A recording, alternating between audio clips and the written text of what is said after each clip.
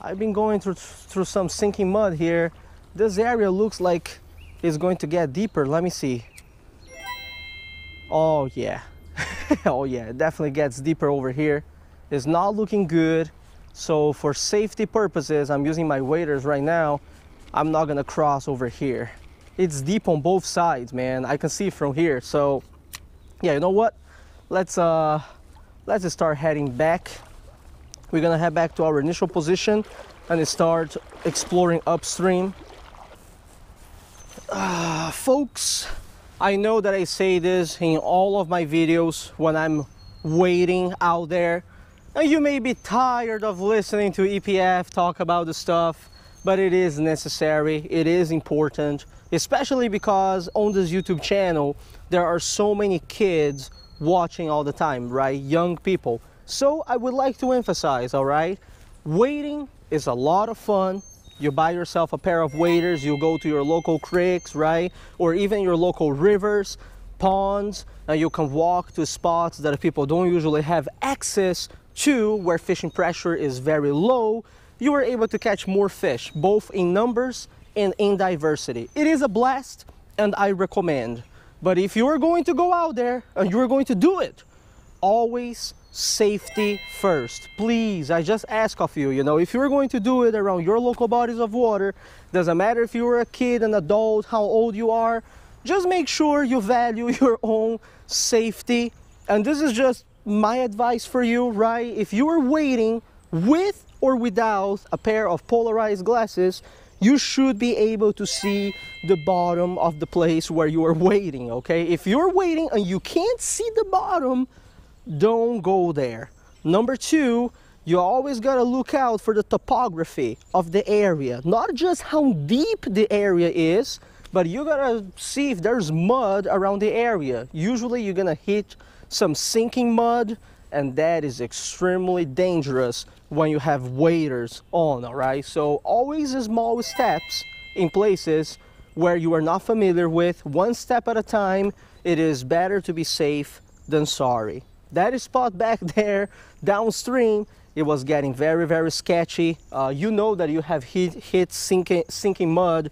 When you step and bubbles start to come up right? And you get stuck. This is what was happening down there. So like I mentioned I just not gonna go that way anymore. It gets super deep.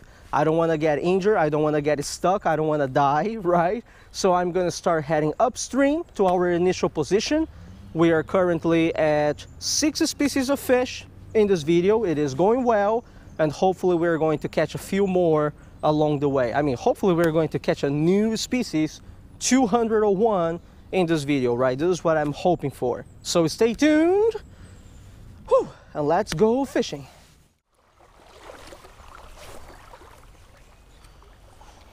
That's a good cast. Fish on, fish on what we got here? Oh, it's a bluegill. Wow, inhaled the bait too. Let's see if we can do some uh, surgery here. Oh yes, oh, oh, yes.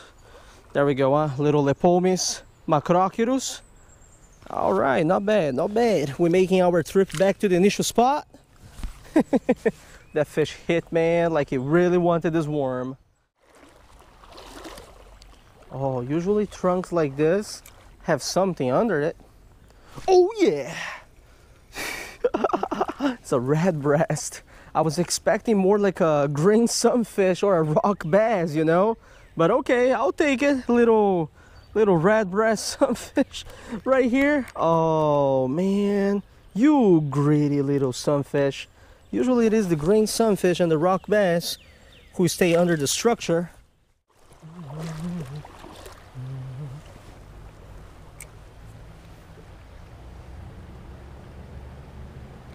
fish on. Oh, oh, son! What is this? Is it another species for today? Is it a smallie? I think it's a smallie. This is my first ever smallmouth bass that I have caught from this place, if it is a smallie. And the species number seven for today. Yeah, look at this. This is a smallmouth bass. Ooh, interesting. So this place also got smallies. Wow, this is a beauty. The small one, I mean, nevertheless, but it is a species that I have never caught here before. Not bad, folks, not bad. Not bad at all. Our seventh species of the day, a little smallmouth bass, eh? The Micropterus dolomieu. Whoa, son, it was full of energy.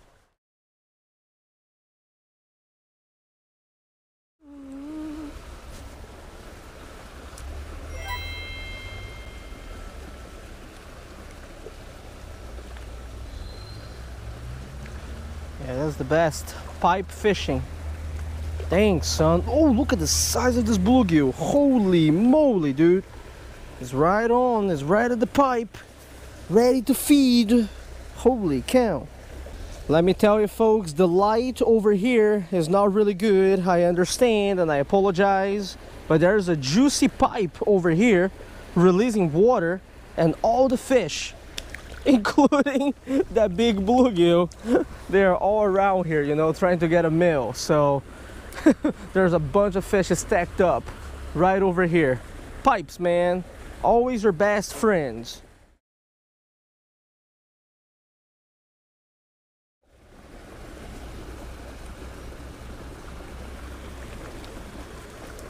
Whoa, another species for today.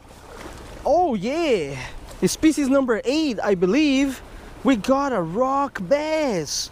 Very, very tiny one, but this is the Ambloplites rupestris, right by the pipe. Now this is pretty cool, my friends.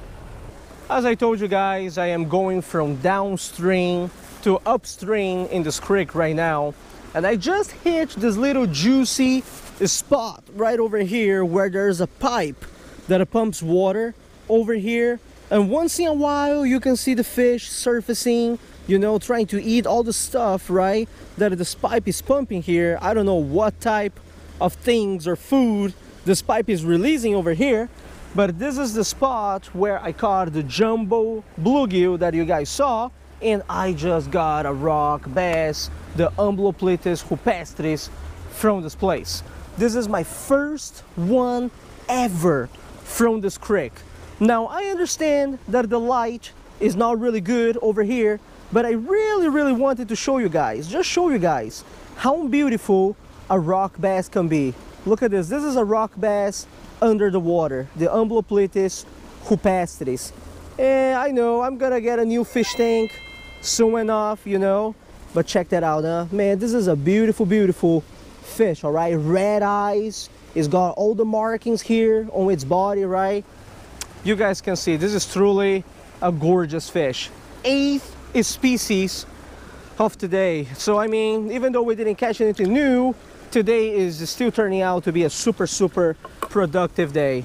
Look at that outside of the water okay? Look at the colors on this fella we gotta release it. I'm just gonna put it right over here. Yeah oh!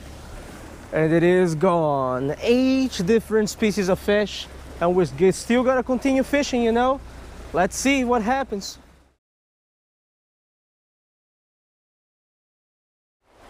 This hike is definitely a hike, folks.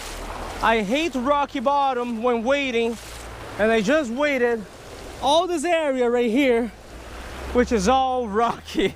Hopefully, we're going somewhere where it's going to be productive, yeah? Oh, what is that? Is that a rock bass? I think that's a rock bass. All right, so there are some rock bass around the area. Came and ate the trout magnet. I just switched from the night crawler to a little jig and uh, you know trout magnet because this area is very very you know the current is very very strong so I thought it would be a great opportunity to throw a jig instead of just free falling get a little bit more depth Oh, that's different. This is definitely different. What is that? Oh, a little small? No, wait, what? It's just a rock bass, man. Another rock bass. I thought it was a little smally at the beginning. the beginning felt it felt so odd, you know? Wonderful, wonderful, beautiful fish.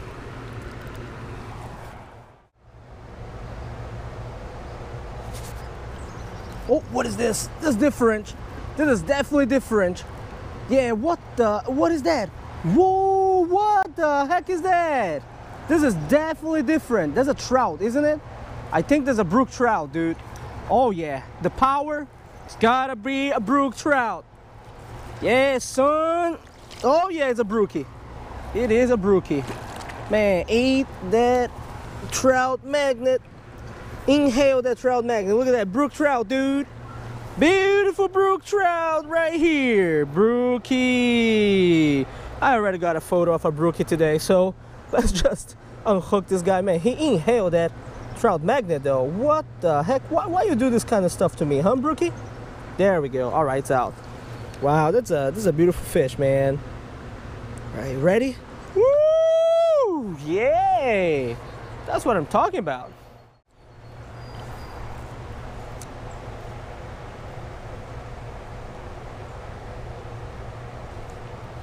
Oh, another one. You got to be kidding. There's a school of them right over here. Are you kidding me? Yeah, man, when they school up, as people say, they schooled up. Look at that.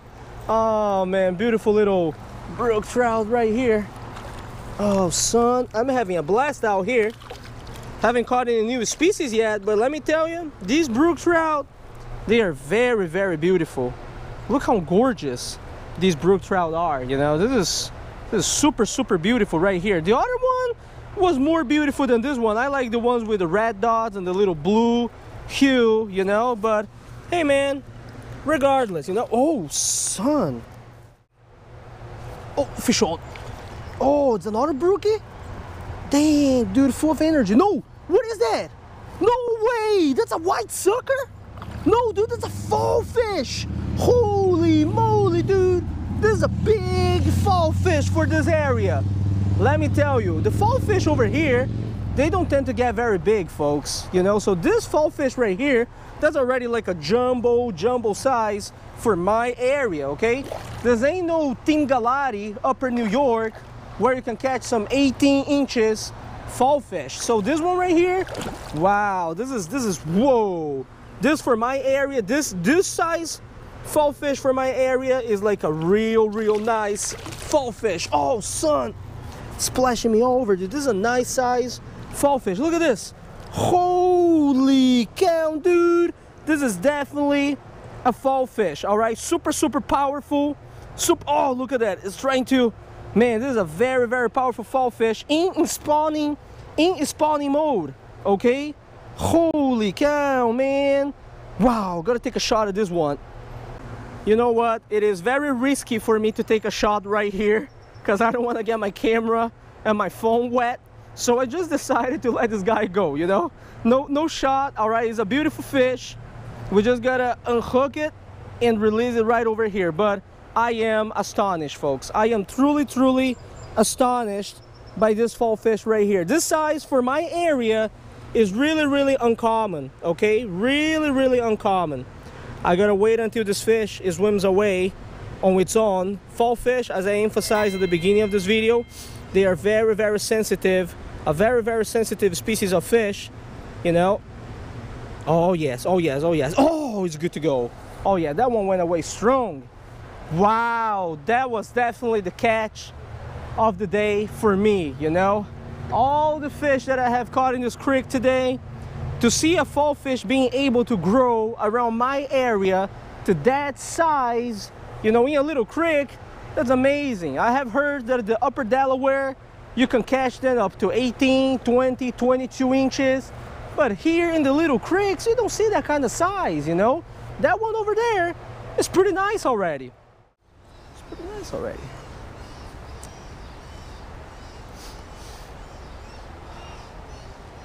Fish on. What is that now? Dude, dude, dude, this place is full of surprises. What is that now? This is the this is the hot hole of the day, dude, for sure. Wow, that's a jumbo bluegill, man. And against the current, this dude is fighting way too good. Holy mo holy moly, man. I found the hole. I found the hole, my friends. Look at this jumbo sized bluegill. Oh, man two brook trout, a big fall fish from my area, and a jumbo bluegill like this from this little hole. Look, dude, this is the size of my hand. Look at this. This is the size of my hand. You guys see this? This is a nice bluegill, real, real nice chunky bluegill for my area, okay? Holy moly. Oh yeah, red breast.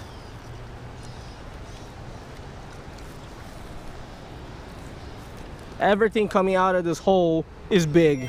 No kidding, man. This is what I call a hot hole. We found the hottest hole in the whole creek today, right over here by this overhanging tree, man. Everything you catch out of this hole is a decent size, you know, for my area. This is good stuff, man. I love myself a hot hole. Oh, feels like a good fish. that's another trout. It's another trout. Oh, this is a beautiful one, man. Beautiful one. Let me tell you, when you find a hole like this, you know, a hot hole like this, you just gotta make sure you suck it dry. You know what I'm saying? Whole day fishing the creek, man. This is my sixth, this is my trout number six from the spot. Look how beautiful. Whoa, whoa, whoa. Look how beautiful this trout is. Holy moly, guys. This is no joke. No joke. For a stocked brookie, this is this is the most beautiful one of the day. Wow, super feisty. Is this really stocked? No way this place has got native brookies, right? I mean, I don't know. This for a stock trout, this is way too beautiful. It's weird. Oh, I don't know, guys. This is very, very beautiful for a stock trout. You know what I'm saying? Let me take a shot of it and we're gonna release it. But this this looks so much like a native. But it's probably stocked, yeah.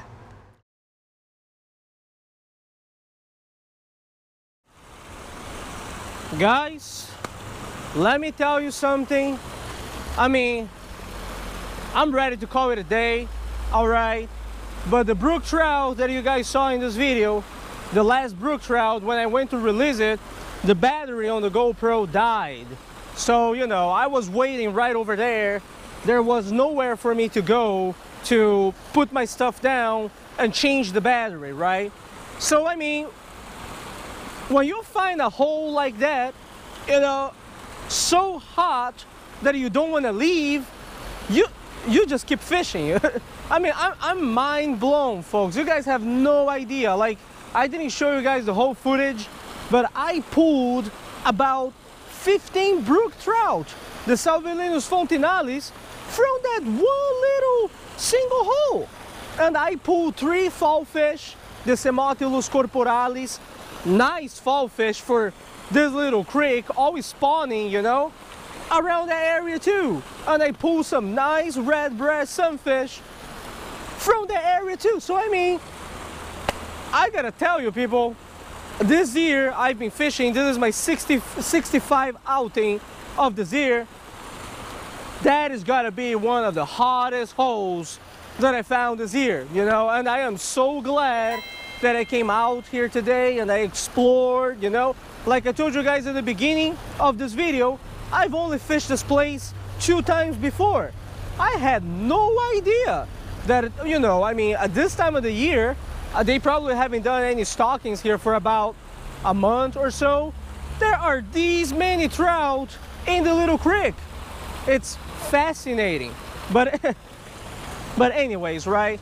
I am ready to call it a day. I've been fishing here for quite a while. So we're finishing the day with what? Eight different species of fish. We got the bluegill, the Lepomis macrochirus, the red breast sunfish, Lepomis auritus, rock bass, Ambloplites rupestris, smallmouth bass, Micropterus dolomieu, fall fish, Semotilus corporalis, uh, brook trout, Salvelinus fontinalis, and then it's down to the micros, right? Let's see, we got, I believe we got a spot fin shiner. Yeah, we got a spot fin shiner, Cyprinella ispiloptera. I believe that's the one. I'm not sure if it is the Ispiloptera or Analostana, but it's one of those two. Then we caught some swallowtail shiner, the Notropis procne, and finally we got a little mystery shiner that, you know, I'll figure out once I get home, right? Once again, no new species of fish. It's still a 200, but I tell you what, a day like this, man, where you catch some microfish, you catch some game fish, and you see some of the most beautiful brook trout around my area, which by the way, is this fish for the state of Pennsylvania, you can't beat that, folks. You can't beat that. So, you know, this is the kind of stuff that makes me happy. I go out there, I fish for whatever bites, you know, I'm always searching for new stuff, going to new places, and sometimes you struck gold, you know? I mean, how beautiful were those trout, right? And the fall fish and everything else in this video. So I recommend you to do the same around your bodies of water. If you have never done it before, you know, broaden your horizons, people. We only live once, right? Carpe diem. Go explore. Go catch new species. Do something. You, you never know what you're going to find. the element of surprise in our sport of fishing fascinates me. It gets me excited and sometimes even gets me perplexed. But all right, this is it for today. Thank you very much for watching this video. Oh man, that hole was so hot, I didn't want to put my stuff out. All right, I said it. I just needed to say that. All right, all right guys, tie lines. I'll see you all next time. Take it easy and make sure you catch a lot of fish. It's it's so short though. Why is this worm so short? For real, man? Is this worm on diet, on diet or something? Well, regardless, nevertheless, we need it, right? So, oh, there's another one right here. Oh yeah. Oh no, it's going. Come out here. No. Dang, son. Where did that worm go? Oh, what the heck is this? Yo, we just found some type of weird larvae over here